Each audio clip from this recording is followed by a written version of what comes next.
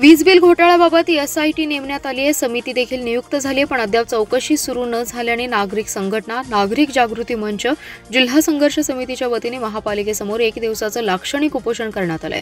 या उपोषणात सामाजिक कार्यकर्ते वी द बर्वे सतीश साखळकर आणि तानाजी रुईकर सहभागी झाले होते. पाच वर्षातील वीज बिलांच्या तपासणीतून हा घोटाळा तीन कोटी पंचेचाळीस लाख रुपयांपर्यंत गेलाय. दहा वर्षातील वीज बिलांचं ऑडिट केल्यास अपहाराची रक्कम दहा कोटींवर जाईल त्यामुळे एसआयटी चौकशीची मागणी केली होती. त्यानुसार लोकायुक्तांनी एस आय टी चौकशी नेमण्याचे आदेश दिले. समिती देखील नियुक्त झाली आहे. मात्र चौकशीला सुरुवात झाली नाही. एक वर्षाचा काळ लोटला तरी कोणतीही दखल घेण्यात आली नाही. त्यामुळे हे उपोषण करण्यात आलं असल्याचे वि द. बर्वे सतीश साखळकर आणि तानाजी रुईकर यांनी सांगितलं.